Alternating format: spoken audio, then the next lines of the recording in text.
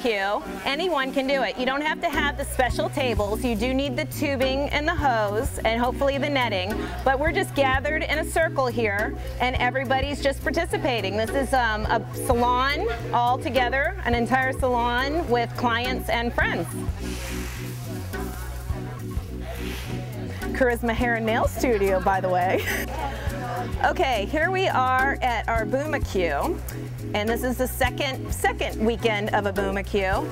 And just to go through the steps of how to have your own Boomacue, we start with Debbie, and Debbie's over here with all the pantyhose and nylons, and you cut a leg off of those. And then you need four inch carpet tubing, and then you put the pantyhose inside the carpet tubing and begin stuffing the hair. And just today, Cindy decided an easier way to, to skip a step is to take this four to six inch netting that has to go over the boom once it's the pantyhose are stuffed. Because normally it would be just like this and you would have to stuff it in the netting. But to skip a step and help everything go smoother and faster, you can put it on the tube ahead of time and as you push the hair down, hold the pantyhose at the top, and as you push the hair down, it's already stuffing the netting. And that totally makes it so much easier and skips an entire step so you can go faster. And this is what it looks like once it's all assembled step easier because at the Boomacues, we were having a problem stuffing the already pre-made booms with the hose in the netting. So can you explain to them now what you're doing to make skip a step and make it a little easier? Yep, uh, well basically what we're doing is we're taking the cardboard tube and we're just putting the orange netting right over it and scrunching it down until it gets like this. And then right at the top, you just put a zip tie right through the top and you can just tie it right up. And then this way it's a lot easier when you uh, want to make finish making the boom because you can just put it right through here and just it's very simple. Keep stuffing it. Yep. No.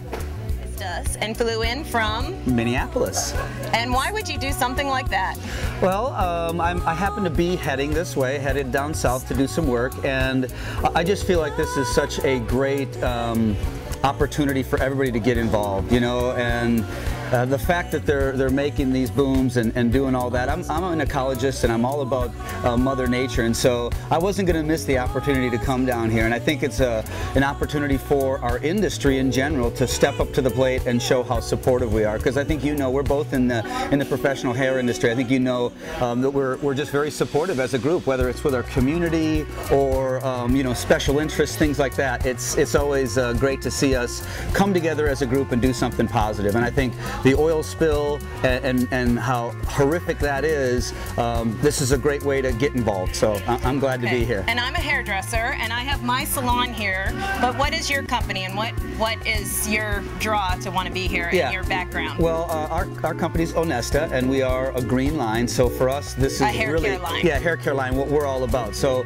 you know, we're wind power generated. Everything we use is from some, something recycled, whether it's the plastic or the corrugated. It's, it's a 100% 100% sustainable, and that's why we want to be involved, and we want our salons involved with this kind of a thing. So I wanted to be here so that I could learn how to make the booms, so that when I go back to Minneapolis and talk to the salons that are getting involved, that they know what to do. And I'm hoping they can actually get them to a point where they can make them rather than just send the hair. I think would That'd be really be important. So that uh, I'm happy be to be here and breaking a good sweat. Well, thank you for joining us. My pleasure. Thank right, you very thank much. You.